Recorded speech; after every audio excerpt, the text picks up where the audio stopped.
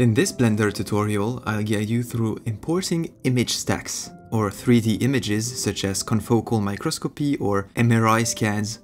Unfortunately, right now Blender doesn't handle 3D data formats directly, so prior to this tutorial you will have to transform your TIFF data into a video file, where each frame of that video corresponds to a layer of your image stack. Now, this can be easily done with either ImageJ or Python.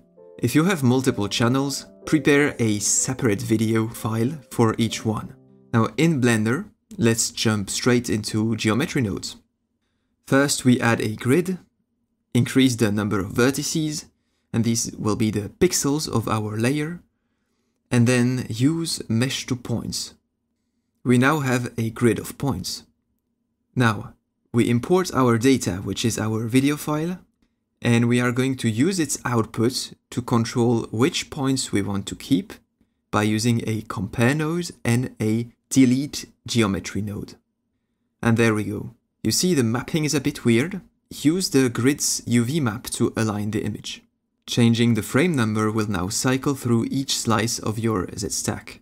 What we need to do now is repeat this operation for every frame of the video. Fortunately, Blender gave us this new tool called a repeat zone.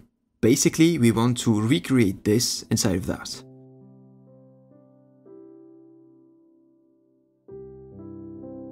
As an input, we give it the point grid, and we'll keep the UV map. Then inside of the zone, we will put the image texture, because this is the thing that's going to change at each repetition. Let's pass the grid to our filter like before, and get back our points.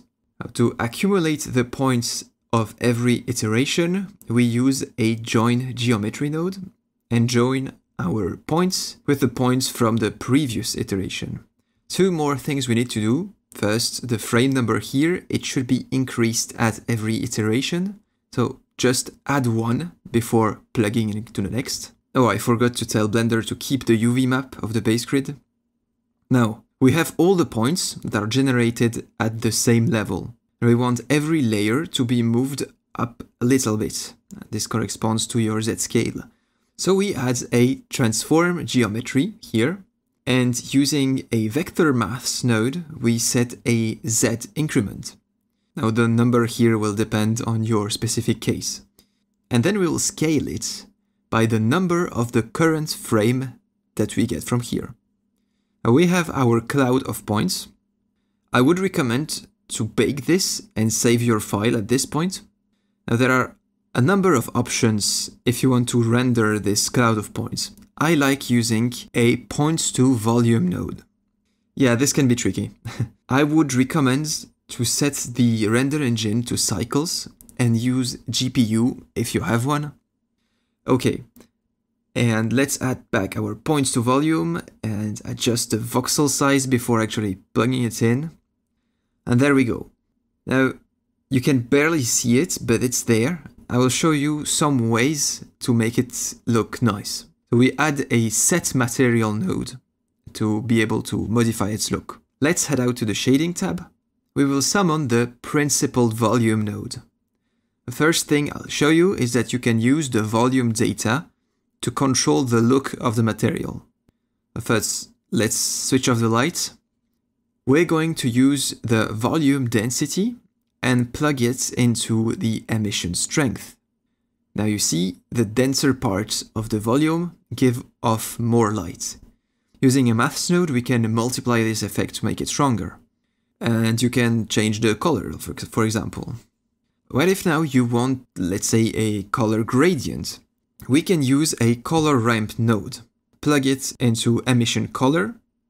Now to control it, we can use, for example, a geometry input such as the uh, z component of the geometry position to, to control this color gradient. Now you have different color based on the location. And you can tune it as you will. Sometimes a map range node will help in order to set the spatial boundaries of the gradient. Now with the exact same trick I'm going to show you something else. If we use black as a color, and set the interpolation to constant, we can actually cut into our volume. I know this is something you often want to do with uh, this type of data. And you can do this on any axis, you just have to adjust the mapping maybe. Now let's say I am happy with how this looks. What do you do if you have other channels? Well, it's super easy, we don't need to start everything over. We'll just copy our object, then copy the geometry nodes tree, then just change the video file here. Okay, it's there, and to see it better we will also uh, copy our previous material, and in the shading mode we'll give it a nice green. And there we have our chromosomes. Now probably you will want to spend some time uh, experimenting to see which way is best to display your data. Probably you will have to adjust some of the parameters, you know, with numbers that I here defined uh, by gut feeling, I'd say, for, for this tutorial. Um, like our compare node here, or adjust the materials, uh, so you can see better. Obviously I can't show the full process here without making the video extremely long, but I thought maybe I can leave out some examples and I will screenshot the material settings for you. Now thank you for watching and enjoy.